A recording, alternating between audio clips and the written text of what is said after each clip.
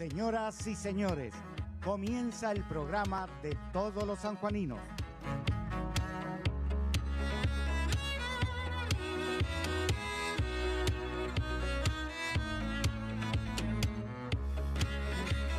Muy buenas noches a todos. Bienvenidos a una nueva edición de La Ventana.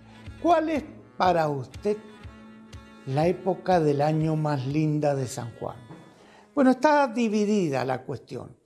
Tenemos un verano que realmente es muy caluroso y que además le agregamos los mosquitos. Y este año los mosquitos más dengue. Y tenemos un invierno Qué frío, sobre todo de noche es realmente frío en San Juan. Quedan dos estaciones, la primavera y el otoño. La gente habla del otoño en San Juan. A mí me encanta el verde nuevo, el verde de la primavera, pero quienes sufren de alergia me dicen, no, primavera más alergia en San Juan también es difícil. Y tienen razón. Buenas noches, Juanca. Buenas noches, Juan Carlos. Buenas noches a todos. Buenas noches, Patricia. Buenas noches, Juanca. Parece que River ya no es tan millonario, al menos así parece, porque ha tenido que pedir un préstamo de 500 millones de pesos, unos 6 millones y algo al dólar oficial. Esto es para eh, los gastos corrientes. Tendría que vender jugadores, prefieren no venderlos, seguir en la Copa Libertadores con todo el equipo, pero tiene que hacer frente a muchos gastos y descontento del propio plantel. Entre los tres bancos que le han dado la plata, uno es San Juanino. El Banco San Juan es de los que ha salido en auxilio de estos 500 millones de pesos que necesitaba River Plate. Bueno, eh, entre las noticias, hoy un nuevo fallecido por el tema del COVID, una mujer de 88 años, era del geriátrico, del segundo geriátrico que se contagiaron. Patricia, no hay datos de lo que es eh, los casos positivos hoy, no llegó el parte. No, solamente se ha informado que en estos testeos que se están realizando en la peatonal, entre el día martes, miércoles, jueves y hasta hoy día viernes a las 19 se han hecho 2019 test rápidos, de los cuales nueve recordemos que mm, fueron aisopados, pero no se ha dado ni la cantidad de detectados positivos, si hubo en la jornada de hoy, y tampoco cuál es la situación de las personas que están en terapia intensiva. Veremos qué pasa mañana. Lo que sí, en conferencias de prensa se han anunciado diferentes situaciones. Por ejemplo... ¿Querés que escuchemos primero? Sí, vamos. vemos. Vamos con lo que dijo Mónica Cofré, la jefa de epidemiología del Ministerio de Salud de la provincia de San Juan. El estado de salud, por lo que sabemos, eh, se encuentran clínicamente estables, algunos incluso en condiciones, si se dan, de poder de volver, de retornar a su lugar de residencia, una vez que se pueda evaluar también el estado eh, de todas aquellas personas que no son eh, los abuelitos, sino del personal médico y el personal administrativo que está eh, que trabaja, que está afectado a esa residencia, se evaluará cuando los abuelitos puedan volver. También habló de este tema la doctora Mónica Cofre. A raíz de que se confirmó un caso positivo en una de las personas privadas de la libertad, se realizó un, testeo eh, de hisopados masivo, aproximadamente a 100 personas, y en el día de hoy esperamos tener esos resultados. Y lo que se hace es mantener una vigilancia epidemiológica en cuanto a eh, la aparición de síntomas. Hasta ahora lo que sabemos es que la mayoría son asintomáticos. Esto es parte de las informaciones. Me decía Patricia que hay cambios a partir de mañana, se agregan actividades, muchas que tienen que ver con, las actividades náuticas. Empieza estos días de calor y hay gente que quiere empezar a practicar todo lo que son los deportes náuticos. Exactamente, van a estar habilitados, eso sí, siempre conservando los protocolos en torno al distanciamiento físico y las condiciones que deben tener, que algunos deberán llevar el, el cubreboca y demás. Y también han cambiado el ingreso, los controles de ingreso a la provincia de San Juan quien vaya a ingresar a la provincia tendrá que traer un hisopado negativo de 72 horas antigüedad. De las últimas 72 horas, claro. Exactamente. Ingresar y van a ser siete días de aislamiento. Si no tiene este resultado negativo del hisopado, tendrá que cumplir los 14 días y también se le va a hacer allí el test y el hisopado si es conveniente. Estos son los eh, requisitos que se han dado a conocer y específicamente están viendo qué va a pasar. Ustedes saben que se han habilitado actividades en torno a lo que es, eh, por ejemplo, las reuniones familiares, los habituales cafés y demás. Lo que se está viendo es qué va a pasar específicamente con los camping y los clubes, eh, que hay una un pedido de los diferentes clubes de la provincia para que se abran antes de que finalice septiembre. Están viendo si va a ser anterior a la finalización, que quedan unos pocos días, o ya directamente el mes de noviembre con la apertura de las actividades de los camping que hay en la provincia. Y en octubre también empezaría bastante de las actividades artísticas, eh, es decir, menos fiestas que se hacen pero en forma ilegal, casi casi que eh, cuando llegue octubre va a estar casi todo habilitado en, la provincia de San Juan. Pero hoy habló en conferencia de prensa el gobernador Sergio Uñac, lo acompañaba la ministra de Hacienda Marisa López y el ministro de Infraestructura Ortiz Andino. Lo que iba a hablar el gobernador, porque en el presupuesto, un informe que había dado incluso el diario Infobae, lo mostraba a San Juan como de los dos más perjudicados. Eh, viajó a Buenos Aires el gobernador y consiguió que en el presupuesto se agregaran 4.500 millones de pesos más, 3.500 de vivienda y 1.000 de los que son rutas. Y lo explicaban así. Ese 41% que hemos logrado incrementar implica una cifra eh, estimativa de 4.500 millones de pesos más. Nos hemos ido de los 8.000 que estaban en este presupuesto, hemos sumado 4.500 millones más. Eh, y esto va en línea con defender el trabajo y el progreso de la provincia de San Juan. Es importante aclarar también que estos 4.500 millones más están por afuera de los casi 9.000 que firmamos con el presidente, cuyo desglose de esas obras que no están contenidas en el presupuesto, pero que tienen firma de convenio y algunos principios de ejecución, son parte de la inversión que el Gobierno Nacional ha destinado a la provincia de San Juan. Logra incrementar las partidas de obras destinadas a la provincia de San Juan en 4.500 millones, 3.000 destinados a vivienda, y 1.500 destinados a ruta, de manera tal que el presupuesto original previsto para el 2021 de 6.800 millones se tradujo en 11.328 millones, lo que implica un 41% más respecto a lo previsto para el 2020 y un 66% más respecto a la partida original prevista para el año siguiente. Hasta ahí las explicaciones de, imagínense que son, entre, nos decía hoy antes de Dumancic, presidente de, la Cámara de Constructores de la provincia, se calcula entre dos y medio y tres eh, personas por vivienda. Son 5.000 viviendas, son 15.000 personas, hasta 15.000 personas que van a tener trabajo con estas 5.000 viviendas que se van a construir 2021 eh, puede ser parte de 2022 en la provincia de San Juan. Empezamos con el deporte Mario Castro. Este fin de semana los sanjuaninos tendremos puesta la mirada en San Nicolás, en el Autódromo de San Nicolás, donde se va a correr una nueva fecha del TC Mouras. Y allí habrá un sanjuanino, Estamos hablando del joven piloto Tobías Martínez, que ya consiguió ganar el fin de semana pasado. Está bien, estuvo eh, segundo en la pista, pero después por descalificación del primero se quedó con ese lugar de privilegio. Tobías va a realizar pruebas de clasificación en el día de mañana y el domingo será la carrera. Decidió permanecer en Buenos Aires, no volver a San Juan, para seguir trabajando con su equipo. Tobías Martínez, una grata realidad del automovilismo argentino y especialmente de la provincia de San Juan.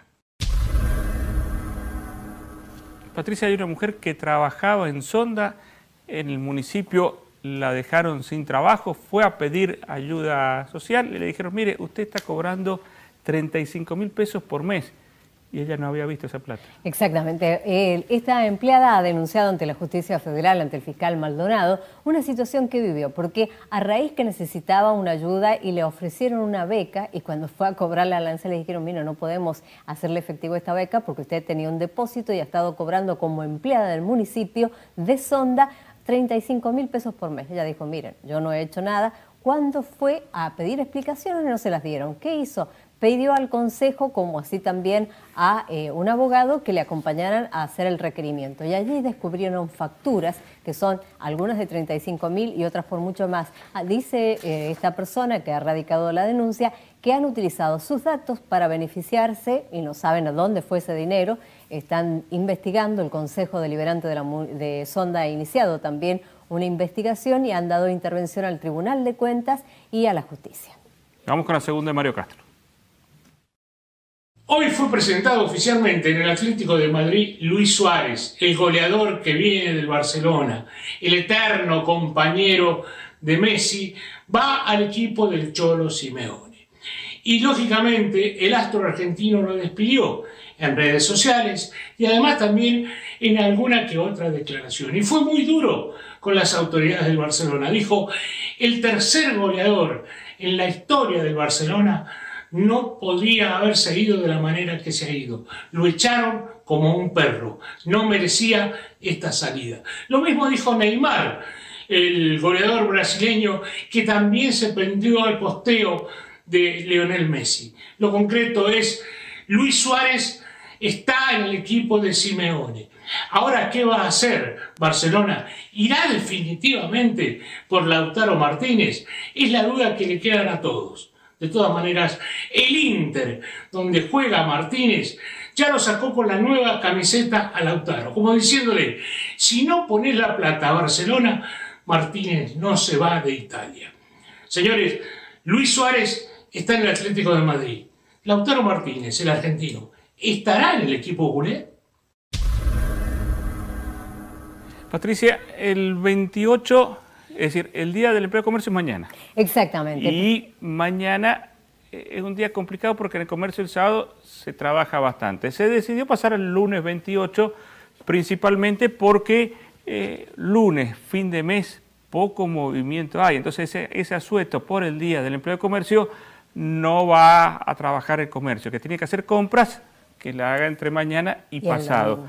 Pero ¿qué va a pasar con, todo lo otro que está en el centro? Por ejemplo, bancos, oficinas públicas, todo ese tipo de cuestiones. Los bancos y las oficinas públicas van a trabajar normalmente porque es solamente el Día del Empleado Mercantil. No es feriado, es solamente el asueto para el personal mercantil, o sea, la gente que trabaja en el comercio.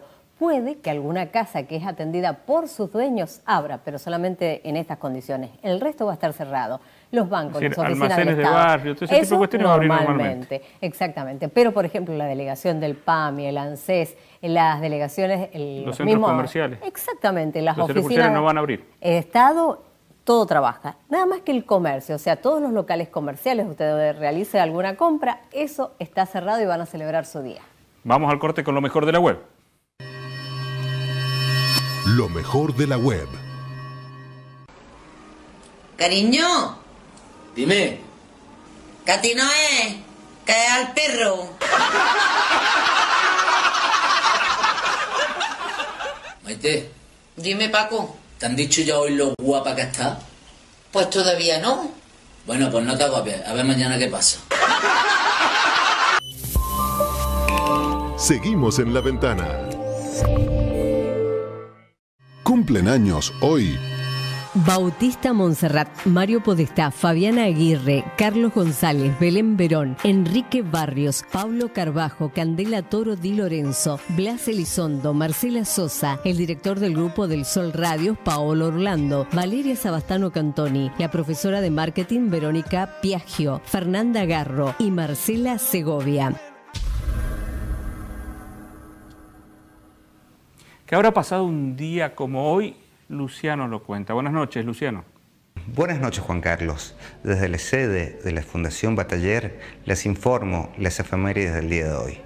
El 25 de septiembre de 1904 fue inaugurada una estatua de bronce del doctor Francisco Narciso Laprida en la Plaza San Juanina que lleva su nombre. En el año 1928, el Poder Ejecutivo acepta oficialmente la versión del himno nacional, arreglada por el músico Juan Pedro Esnaole en 1860. El himno se cantó por primera vez en la casa de Mariquita Sánchez de Thompson el 14 de mayo de 1813. En el año 1942 nace el boxeador argentino Oscar Ringo Bonavena.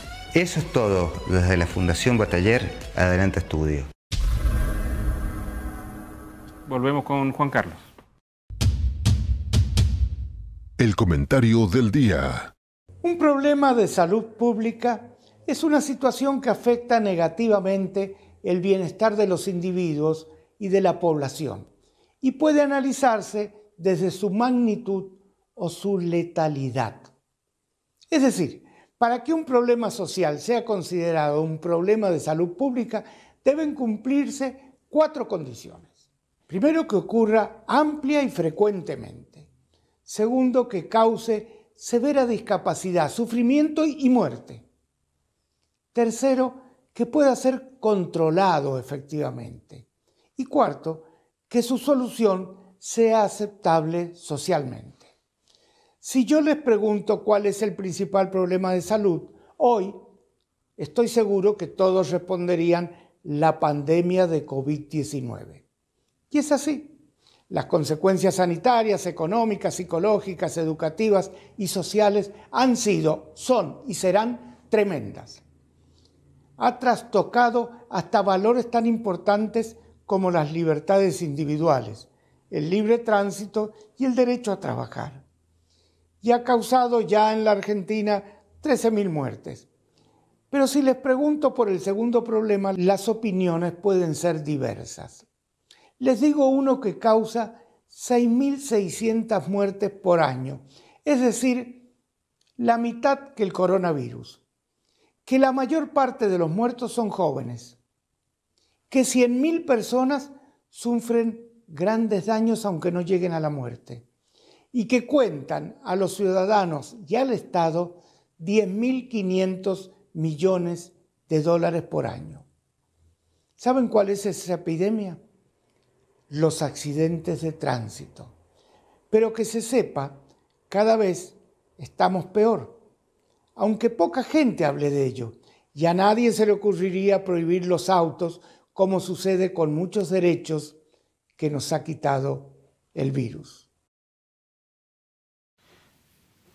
Hoy hay dos temas. Vamos a hablar de urbanismo, para eso está el arquitecto Jorge López, y vamos a hablar también de cómo toma la sociedad algunos temas, como el del diputado que, fue, que renunció a la Cámara de Diputados y en plena sesión de un tema complejo, como son los activos del ANSES, estaba más preocupado en darle besos a los pechos de su pareja y terminó siendo un escándalo eh, escándalo que no va de, un bloque o del otro, porque todos los diputados en general condenaron. Uno solo se opuso a, la renuncia, pero todos lo condenaron en un hecho que termina dejando mal a todos en su conjunto eh, y que termina siendo el país noticia mundial por este diputado. Pero empezamos hablando un poco con, Jorge López. Eh, Jorge, las provincias no son, cualquier lugar no es estático van cambiando, van cambiando los conceptos de, urbanismo, van cambiando las provincias, pero sí hay características que condicionan ciertas cuestiones. Uno ve que en San Juan es, mm, lo que sobre todo el Gran San Juan, no hay mucha altura eh, y se construye mucho en los lugares eh, de las mejores tierras. Es decir, la cantidad de barrios privados que hay donde había fincas hace 5 o 10 años es tremendo. ¿Esto trae consecuencias a la larga? Sí, eh, buenas noches a la audiencia de La Ventana. Este, sí, claro que trae, trae problemas. Eh, las estructuras urbanas, las ciudades, son, son seres vivos que se van modificando, que van creciendo, que van cambiando sus condiciones.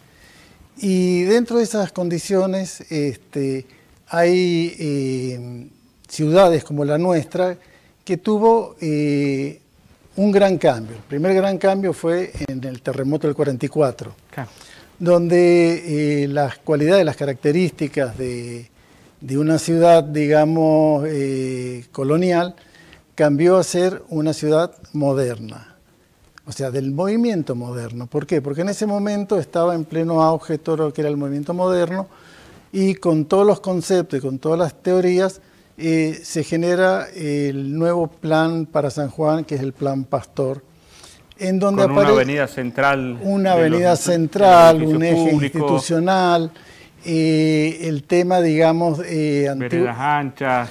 mucha claro, diferencia entre calles. Justamente ampliar para que el terremoto dejó, digamos, la marca que toda la gente, la mayor cantidad de gente murió cuando salió a la calle. ¿Por qué? Porque se caían eh, la, las casonas. Y el pibe topadora, eh, Limpió. Carrera, era, Marino Carrera, fue quizás la persona más importante con cosas buenas y con cosas malas, como querer abrir eh, la calle Mendoza y Central con edificios muy lindos que estaban ahí, que los tiró.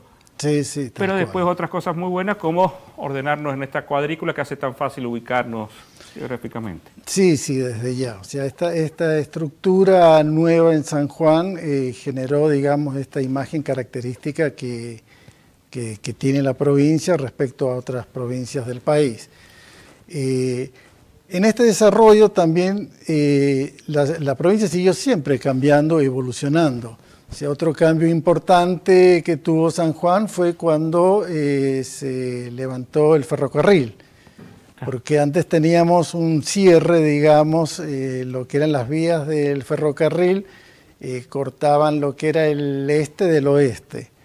Al desaparecer la- las vías, empieza a tener la ciudad otro carácter y aparece un nuevo eje, un eje muy importante, este, un eje que termina siendo un eje cívico, institucional, cultural muy fuerte, que modificó también las características de lo que es, San Juan. Y bueno, en ese crecimiento eh, la ciudad va tomando, digamos, otras cualidades, otros aspectos que siguen esa evolución. Inclusive eh, hay un, un plan, digamos, que se realizó este, en, el- en la época cuando inicia el gobierno eh, Uñac, que es eh, en, en la Secretaría de Planificación, donde hay un nuevo plan regulador de todo lo que sería el Gran San Juan. Eh, estaba principalmente el arquitecto Velasco y también el arquitecto, Malmón. Exactamente, sí, sí, sí. Dos, dos profesionales, digamos, de, de gran envergadura. Alicia Malmot en la parte de planificación y urbanismo, que es una persona, digamos, con una capacidad muy grande. Yo estoy hablando desde la arquitectura, porque en realidad no soy especialista en urbanismo, pero sí hablo como, como arquitecto. Y, y bueno, y la, y la ciudad va cambiando. Y eh, son notables los cambios que se produjeron, digamos, con la consolidación de este nuevo eje, ahora con la ampliación del parque, eh, se va generando, digamos, una estructura, eh, digamos, norte-sur, que va teniendo cualidades eh, muy ricas. y que se consiguió en gran medida que la gente se apropiara. Es decir, por ejemplo, uno lo veía al edificio 9 de julio con una gran actividad que tenía hasta las 2 de la tarde y después una zona muerta. Exactamente. Uno lo ve incluso tribunales ahora, el mismo centro como una zona muerta. En cambio, el Teatro del Bicentenario, el mismo centro cívico, la gente paseando, caminando, estando en el césped. Es decir, hay una apropiación de- del lugar más allá del edificio público. Eso, es eso que decís es muy, muy importante, porque justamente eh, la, el, digamos, el intercambio social que genera estos espacios, el cambio que genera también, digamos, dentro de lo que es todo- toda esa estructura, o acordémonos que era cuando estaba antes el ferrocarril sin funcionar, un gran baldío, una zona que en la noche era imposible caminar, el centro cívico los años que estuvo abandonado, bueno, cuando empezó a funcionar todo esto, todo ese entorno empezó a modificarse y cada vez se va modificando más y se va apropiando justamente la, la población y es un espacio realmente muy rico, digamos, en múltiples actividades Y van sociales, cambiando, uno ve que se empiezan a hacer edificios de, de gran calidad, eh, hay edificios que se están vendiendo a unos precios altísimos pensando lo que es en San Juan, y porque la gente va buscando esos lugares lindos. Eh, y ahora uno lo ve Santa Lucía como un lugar donde se está buscando para barrio privado y para Rivadavia con la Libertador y la Central que han mejorado bastante el tránsito, también, digamos, ya no queda tan lejos eh, la zona de Rivadavia o Marquesado, todos esos lugares. Claro, eh, San Juan tiene, digamos, unos ejes eh, conectores muy importantes.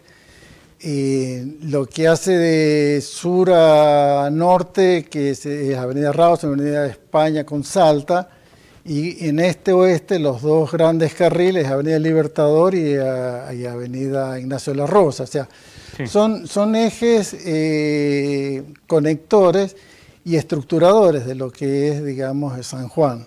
Entonces esto va haciendo que justamente se van consolidando estos ejes en función de estas nuevas actividades que, va precisando la, ciudad con, este crecimiento, con estas nuevas actividades, como hablábamos justamente de este eje de lo que era el ferro urbanístico, con el centro cívico, el Teatro Bicentenario, el corredor, eh, cambió totalmente, digamos, la fisonomía y se va consolidando ya como eje, justamente como estás comentando, aparecen nuevos edificios, nuevas construcciones, nuevos, servicios, nuevos usos.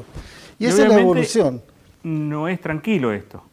Es decir, eh, Jorge, vos estás como arquitecto de un edificio que se quiere construir en la Avenida Central eh, pasando la circunvalación. Sí. Y los vecinos del barrio del Bono, entendible. Sí, sí, sí. Dicen, no, miren, eh, un edificio acá va a cambiar la fisonomía del barrio, no solo por las vistas, sino porque cambia la circulación del aire, cambian muchas cosas. ¿Qué lo que, ¿Cómo ves el tema este? ¿Qué es lo que nos puedes decir? Mm, mira, eh, yo soy muy respetuoso, digamos, de las consideraciones que, tiene la gente del barrio del Bono. Y el barrio del Bono en sí, como una estructura urbana, eh, tiene cualidades muy ricas. Ahora bien, eh, a mí me encargan un proyecto justamente en lo que es el borde del barrio del Bono. Si nosotros vemos eh, lo que era Ignacio La Rosa hace tres años atrás y vemos lo que es la avenida Ignacio La Rosa ahora, cambió totalmente. Era un embudo casi después de la Era un embudo, era una calle que tenía características muy particulares y muy eh, acorde a lo que era el barrio del Bono. Era como, como una parte del barrio del Bono. Ahora al hacer una vía de seis carriles, que ha de ser una de las vías más anchas que tenemos en, en San Juan, se transforma ahora en un eje troncal muy fuerte con otro carácter. Un carácter que no tiene absolutamente ya nada que ver con lo que era ese carácter que tenía antes con su arboleda, con sus veredas anchas, ahora son en veredas angostas, no tenemos arbolado, tenemos vías rápidas. Y bueno, y ese, esos ejes empiezan a condicionar de algún modo otro tipo de uso, otro tipo de actividades. Eh, la propuesta que yo realizaba ahí justamente trataba de ser muy respetuoso con, lo que era el, barrio del Bono, pero con la consideración que inclusive yo lo que he hecho simplemente es solicitado una, que se puede rever, digamos, una normativa que existe ahí especial para toda esa zona. Eh, ¿Por qué? Por estas condiciones nuevas que tiene eh, esta, esta estructura en lo que es el... Ahí estamos viendo algunas imágenes de lo que ah, sería el edificio. Bueno, este... Y bueno, y una de las consideraciones entre las que tuve en cuenta es justamente eh, eh, cuidar la privacidad de lo que es el, barrio del Bono. En su fachada, o sea... no tener ventanales que den no, no, no, no, no hay ninguna forma, digamos, de, visuales hacia el norte y hacia el este, que sería, digamos, los dos sectores que tomaría, digamos, lo que sería el barrio del Bono. ¿Por qué? Porque el edificio, justamente respetando esto, lo que realizo es eh, que se abre hacia el sur plenamente y hacia el suroeste, con grandes balcones, con terrazas.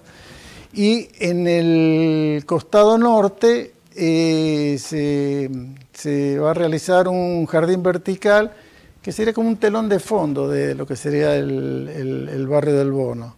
Entonces... Eh, hoy no se podría realizar el edificio según la reglamentación actual. Hoy no se podría realizar el edificio. Por eso yo pongo a consideración y a una revisión, digamos. ¿Por qué? Porque realmente se modificó esta estructura urbana. O sea, eh, es otro, otro tipo de ciudad que, se podía porque uno ve por la central Urquiza, por ejemplo, hay edificios altos. Eh, ¿Desde dónde a dónde no se puede construir? Claro, hay una zona que le llaman C3 y una zona que hay una reserva de, la zona C3 que comprende desde eh, la lateral de circunvalación hasta eh, la calle San Miguel. Y bueno, esto sí, esta es una resolución del 2007. Como, como un poco comentaba, la ciudad crece, la ciudad es un ser vivo, se va modificando y va teniendo distintas características y distintas cualidades.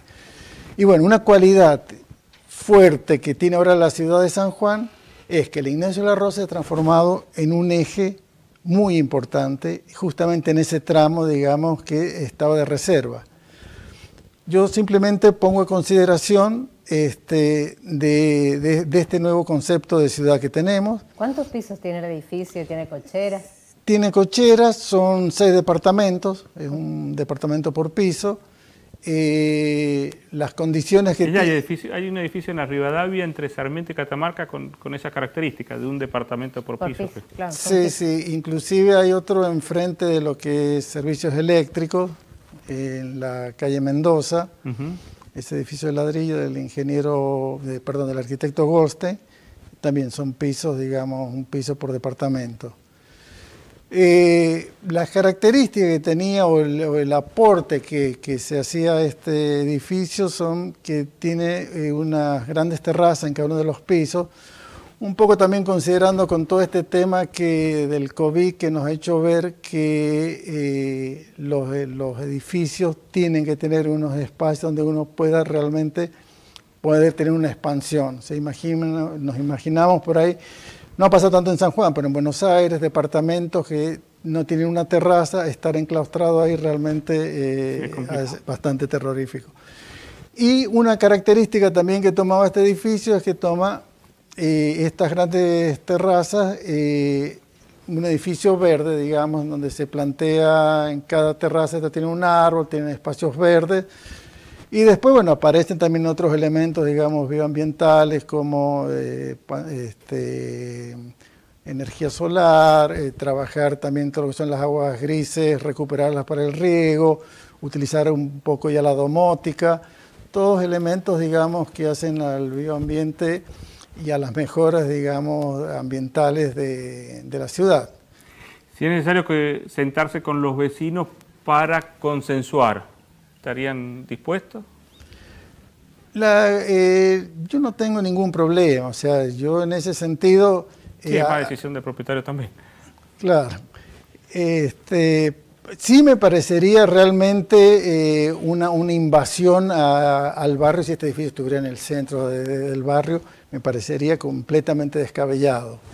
Eh, la preservación de, los espacios verdes, del verde, lamentablemente ya no existe el verde. O sea, yo lo que hago es una puerta del verde con este edificio y, la intención es generar una caracterización que por ahí refuerce un poco como portal de lo que es el, barrio, el barrio del Bono.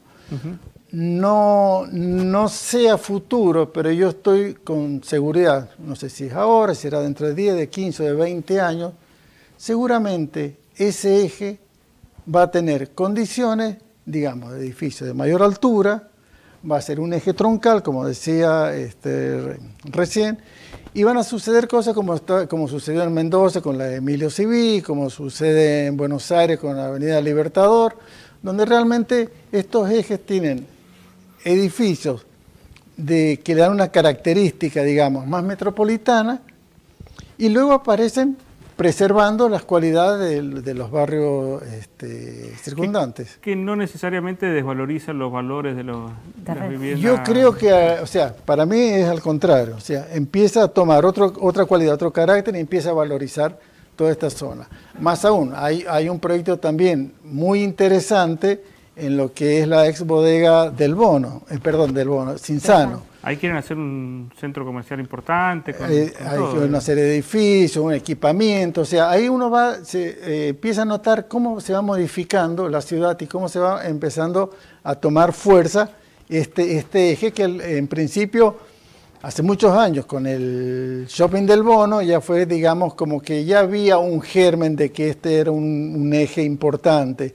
Después con el hotel, después con el casino iban a empezar a surgir, digamos, otro tipo de actividades, sí, pero con seguridad. Y creo que no, se, no, no estamos afectando, digamos, lo que es el barrio. El barrio para mí, eh, como digo, tiene características urbanas, y eh, ambientales muy buenas. Pero lamentablemente Ignacio La Rosa ya no es lo que era. O sea, lo que era para, para, para el barrio del Bono. O sea, Lo que quiero decir, ahora lo bueno es que esa es una, una, una, una, apertura en esta avenida donde se ve un crecimiento de la ciudad, digamos, cada vez más Pero creo que es entendible que los vecinos se preocupen y traten de, de movilizarse. Es entendible porque obviamente eh, dentro de los proyectos tienen miedo que mañana aparezca otro proyecto que quizás no respete todo este tipo de cosas. Entonces uno lo entiende a los vecinos. La cuestión es que en la Avenida Central en algún momento van a haber muchas más confiterías, restaurantes, todo ese tipo de cosas. Es que, va a ser así.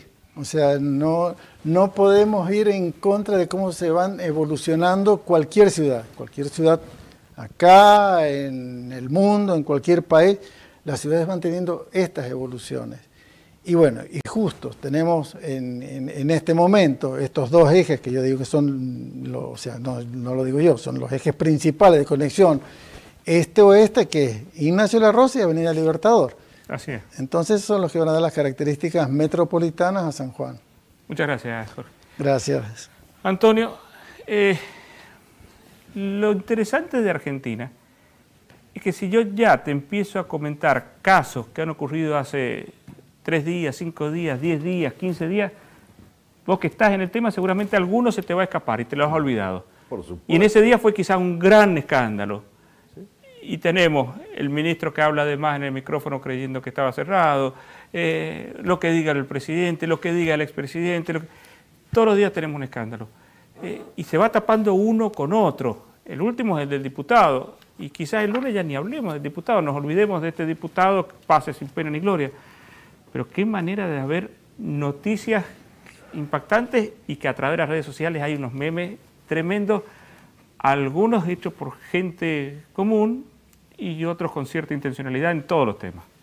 Sin lugar a dudas. E, esto es lo que Toffler hablaba, el atosigamiento o, la sobreabundancia de información, es decir, la sobrecarga de información que, ojo que eh, hay estudios al respecto que produce cierto agobio y cierto desconcierto en la sociedad misma, un estrés, eh, produce este agobio, esta sobrecarga de información, termina uno siendo cada vez más ignorante. Fíjate vos que al final tanta información termino no, no teniendo tiempo de elaborarla, de locubrarla, de analizarla, de grabarla, de registrarla, y pasa lo que vos decías recién. Es decir, no hay posibilidades de acumular tantas cosas en tan poco tiempo. Y por lo tanto, una información, si tiene la vida de un día o dos, y coincido plenamente la semana que viene, no vamos a estar hablando del diputado, eh, eh, este diputado de anoche, como tampoco estamos hablando, por ejemplo, de otras cosas que han sucedido graves igual en la Cámara de Diputados Senadores. Para Graciela Camaño pegándole una piña a otro diputado en aquel momento Kunkel. ¿Alguien se acuerda de eso? No. no debe haber sido hace más de cuatro años. No hace más de cuatro años. Eh, ¿Alguien se acuerda de, Esteban Bullrich poniendo una foto de él en el medio del debate y huyendo del debate? Es tan escandaloso como esto. Ya no se acuerda y esto ha sido hace un mes. ¿Alguien se acuerda de Luis Juez eh, en el medio de la sesión dándole una entrevista a un canal de televisión, a una radio y abandonando la sesión y saliendo detrás, hablando. No, son, son escándalos, y, pero no las podemos acumular. No hay margen para acumular tantos papelones. Acá hay varias cuestiones. Por un lado, eh, esta actitud, si lo hubiese tenido en, la cuestión privada, es un problema de él. Sí. porque incluso hay gente que, empieza de la moral. Eh, la moral es bastante relativo en esto. Lo que me parece grave es que... se, ausenta de la sesión y no está escuchando la sesión. Se estaba tratando un tema muy importante. Por supuesto. Que eran los activos del ANSES. Ah, ¿Qué es lo que era lo mismo de, Esteban Bullrich. Estaban tratando algo muy importante que eran las jubilaciones y se, pone un cartel y se va. Carlos Heller estaba hablando. Carlos Heller estaba hablando sobre los activos del ANSES. ¿Qué es lo que era la ley? Que para que algún activo del ANSES se pueda vender lo tiene que aprobar antes el Congreso, si no, no es un reaseguro para todos los jubilados y los que se van a jubilar.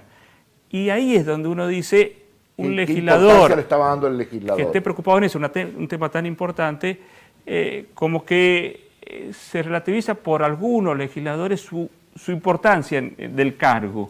Es decir, es demasiado importante un legislador como para, estar que no esté pendiente pegando una piña o poniendo un cartel o, con, eh, entretenido eróticamente. de lo que sea. Pero todas las leyes que trata un legislador se supone que afecta a gente, o beneficia a gente, o perjudica a otro, lo que fuere. O extrae, o pone, o saca, coloca. Pasaría lo mismo un médico que está en el medio de la operación contestando un mensaje y tiene Que no tengas dudas que sucede, y, además. y está operando, o un juez que está pendiente de algunos de estos temas Por mientras está dando sentencia. Y son cosas demasiado importantes como para no estar atento. Hay una sobrecarga de tanta información, Juan Carlos, que es imposible. Si nosotros vemos lo, ya no sabemos la cuenta del, del- del coronavirus, ya la hemos perdido. Acá se da lo que decía este, Bernard Shaw, que, en- que son las estadísticas. Bernard Shaw decía, un caso es una tragedia, miles de casos, miles de casos es una estadística.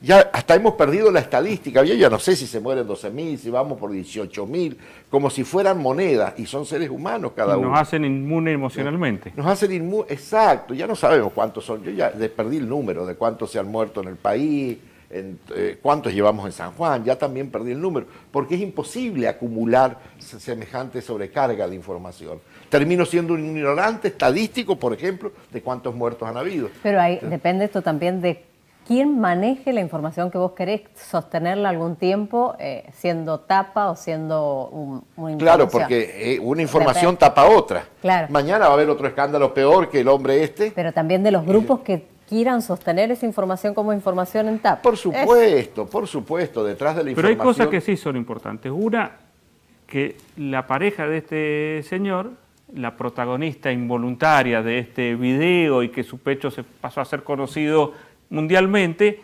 eh, era también su secretaria y cobraba. Sí, Y uno dice, o su asesora. sí.